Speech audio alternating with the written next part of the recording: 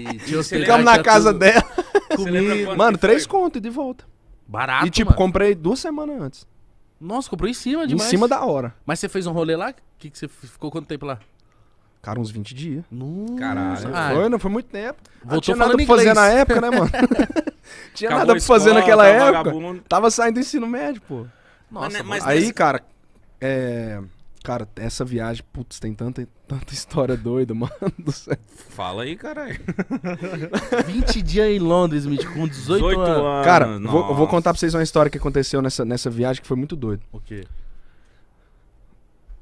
Foi minha primeira viagem pra fora, né, cara? Era eu e mais dois amigos meus, tudo moleque, mano. Tipo, sabe? Molecão de tudo, velho. Sem noção de porra nenhuma. Nunca tinha ido pra fora do Brasil e tal. Mano, foda. Aí chegamos a fazer conexão em, em Paris, pra chegar em Londres, né? Aí, e lá em Paris tem dois aeroportos, né? Que é, é o Orly e o Charles de Gaulle. Eu Não sei se é assim que fala, Charles de Gaulle. Mas tem dois. Tem, Tem dois dois. e é tipo como se fosse Congonhas, Guarulhos. Guarulhos, É de distância. Tipo, dava uma meia hora de distância. Tá. sabe? Aí a gente chegava em um e a conexão que saía pra, pra Londres era do outro. Então Tá. tinha o traslado de carro, de, de, né, terrestre ali, de um aeroporto pro outro. Aí beleza, chegamos, pagamos 100 euros num táxi, mano. Nossa senhora. Tipo, eu não sei até hoje se o cara enganou, se o preço era aquele mesmo, porque não tem lógica. Eu já cheguei e Nossa. falei, porra, mano, 100 400. euros hoje E, é. e um- a gente vai, vai pra fora do Brasil fica convertendo, né, Mas mano? tem que.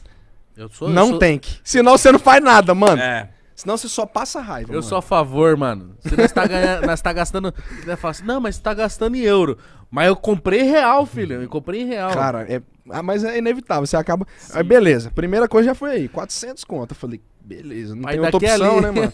aí chegamos lá, descobrimos que tinha um ônibus que levava de graça. Puta então ele te fodeu. Já chegou Ele me gastando fudeu. dinheiro já. Beleza. Porque ele podia falar assim, irmão, pra você ir daqui lá é o ônibus lá. ó. Só vai. Vai. É, irmão. Agora, se você quer num confortinho, beleza, mas. Cara. Aí chegamos lá, muito atrasado, cara. Porque tinha muito trânsito no caminho. Foi, mais, foi quase uma hora. Foi mais de uma hora, eu acho, do- esse, esse trajeto. Caralho. Que era pra ser em meia hora. E era um voo já em cima do outro, cara. Chegamos. Aí corre mala, faz check-in, chegou pra fazer. Na verdade, chegamos pra fazer o check-in. A, a, a, a francesa lá. Flight closed, flight closed. Aí eu falei pro Nossa. amigo meu, e aí, mano? O que, que que, ela é? que ele falava inglês? né?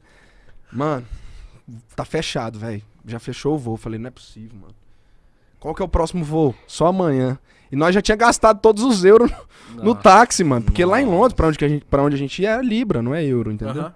Então falamos assim, não, vamos levar pouco euro aí que é pra só comer ali no aeroporto, se precisar, né? Uma emergência Uma coxinha. Já né? tinha gastado tudo, mano, entendeu? 100 euros, mano. Aí já saímos cabisbaixo, três moleque, mano, saímos cabisbaixo. Fomos andando, mano. Aí já tinha, tipo assim, pra você ver o tempo que foi depois dela falar que tava fechado o voo. Fomos andando lá, andamos mais ou menos uns 10 minutos. Chegamos no guichezinho da companhia aérea lá pra comprar o voo pro outro dia, né? Nós já tava falando assim, não, ter que dormir aqui no aeroporto, né? Nossa. Amanhã nós vaza, dá, dá, dá um jeito. Liga pra mãe, pede um dinheiro. Caralho. Chegamos lá, tamo na fila trocando ideia em português. Aí quando chegou a nossa vez de ser atendido no guichê assim, o cara falou com nós em português, mano, saca? Falei, cara, você é brasileiro? Ele, não, não, sou francês, eu só falo português mesmo. Oxi, por aí ele, que, aí a gente explicou pra ele a situação, falou, cara, chegamos atrasadão. É, a moça lá não deixou a gente passar, cara. A gente tem que ir, tinha que ir pra lá, cara, nesse voo, senão não, não tem dinheiro pra dormir aqui, vai ter que dormir aqui. Ele... Mano, foi cena de filme. Ele passou a mão num jalequinho que tava em cima da cadeira assim. Vem comigo. Mano, que cagada. Mano, ele já saiu pegando aí nós. Ele já saiu correndo, já começou a passar uns rádios e falou. Mano, eu só sei que o cara mandou parar. o Tipo assim, ele- Nossa, um anjo. ele, fez, ele botou nós dentro do avião, mano.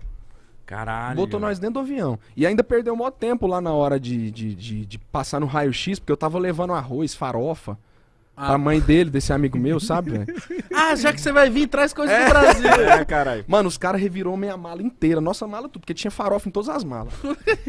Mano, os caras revirou tudo. Tipo assim, da hora que ela falou que não dava, pra hora que nós entrou, foi mais ou menos uma meia hora, 40 minutos.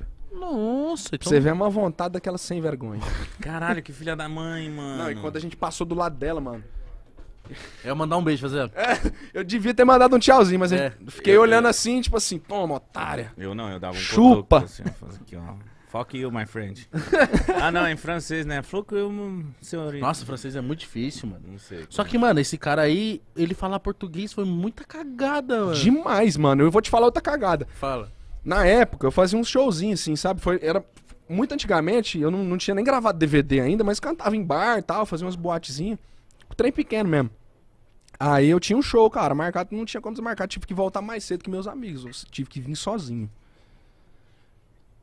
Cara, eu não achei um cara, um francês também, um polonês, sei lá, um cara com a camisa do Brasil, mano, do meu lado no voo, tava indo pro Brasil pro carnaval, mano.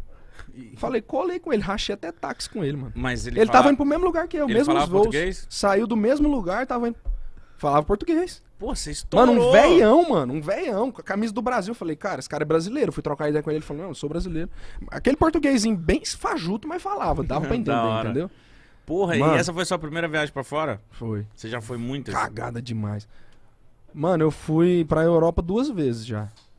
A trabalho ou a duas vezes. rolê? Não, foi rolê mesmo. Mano, A segunda vez foi acompanhando a Marília no- na turnê dela, numa turnê que ela fez, né? Então Uhum. ela tava trabalhando, eu tava de rolê. Aí, melhor ainda. É bom, né? Mano, mas você falou que, tipo, no começo do 18 você já tava cantando, mas como que foi o seu começo? Você, você só escrevia ou você já cantava? Como que era? Cara, o começo, o começo de tudo mesmo. De começar a gostar de música e ter gosto por isso. Eu sempre gostei de escrever, na verdade. E sempre também gostei de instrumento. Eu gostava de escrever poesia, poema, texto, essas coisas. E aí, comecei a aprender a tocar violão e juntei as duas coisas, cara. Comecei a compor.